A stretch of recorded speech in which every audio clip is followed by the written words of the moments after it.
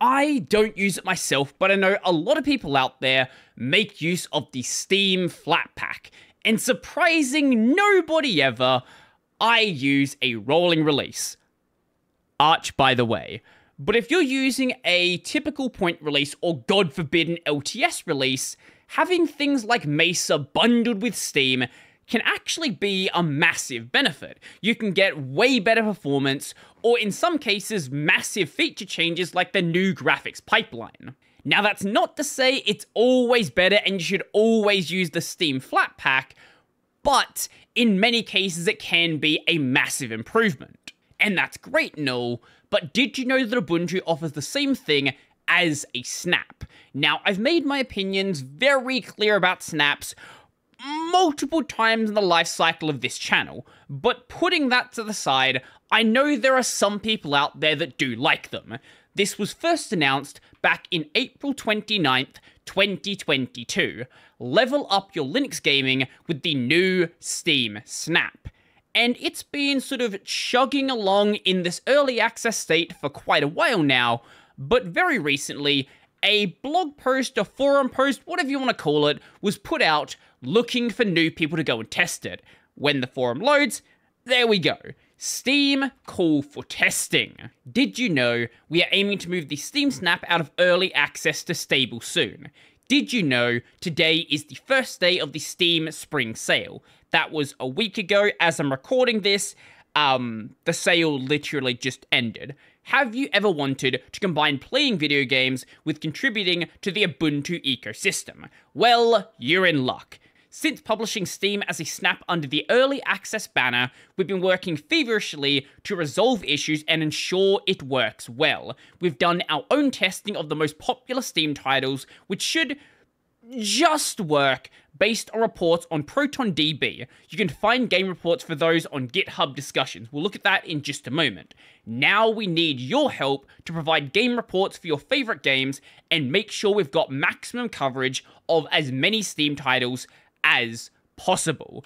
This is trying to resolve a lot of the same issues addressed by the Steam Flatpak, providing a new version of Mesa, providing all of these new dependencies, which on something like Ubuntu, especially if we're talking about the Ubuntu LTS, you know, can actually be quite noticeable, especially if we're talking about an LTS, you know, a couple of years into its life cycle, or two, three years in, and it's getting to that kind of retirement point.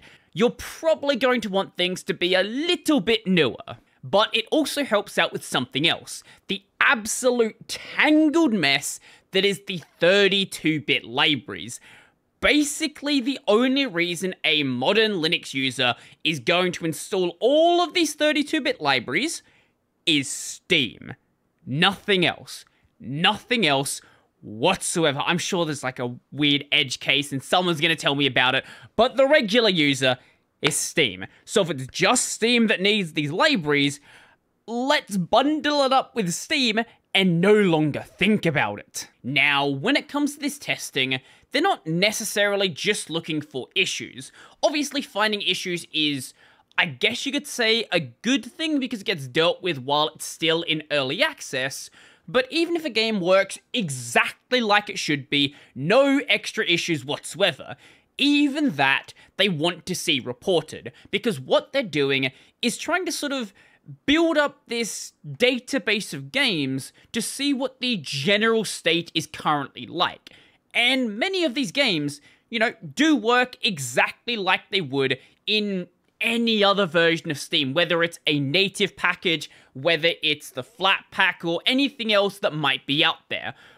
But some of the games seem like they have extra issues which wouldn't be there in any other case. For example, Witcher 3, which on ProtonDB has a platinum rating, is completely borked and will not open. Elden Ring, a game that has a gold rating, also completely borked, even though it should work fine. Cyberpunk 2077, which, you know, you might still have this idea in your head that Cyberpunk is a really buggy game, but on ProtonDB, it has a gold rating, it is basically no buggier than it is over on Windows.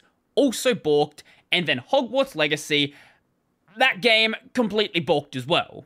All four of these games, and any other games which are rated highly on ProtonDB which aren't playing nicely in this project, by all accounts, should be working perfectly fine. Now, as I mentioned earlier, it's not to say that every single game is completely broken. Most games are perfectly fine. Games like, say, Enter the Gungeon, Rocket League, Dota 2, and most of the other games work exactly like they should. But it kinda should be expected that things might be, let's say, a little bit wonky.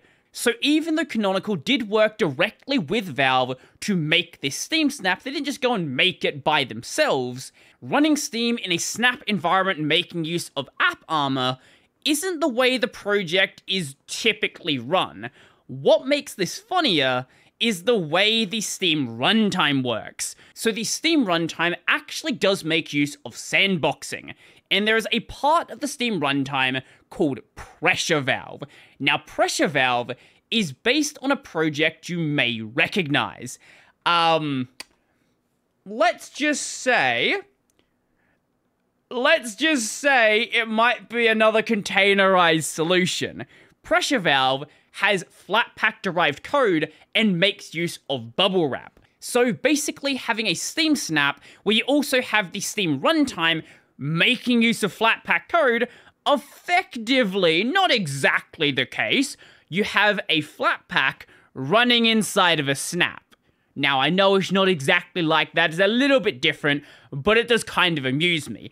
And when you're dealing with two sandboxing solutions at the same time, even if they're supposed to work with each other, problems can start to happen.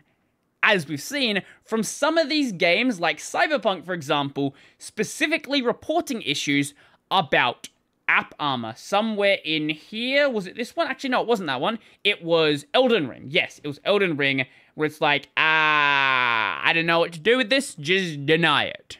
But the only way that things are going to get better is if things are actually being tested. So if for whatever reason you feel like actually going and doing it, maybe you got like a free weekend, maybe you genuinely like snaps and want to give people more of a reason to want to be using them, what you need to do is a couple of very simple things.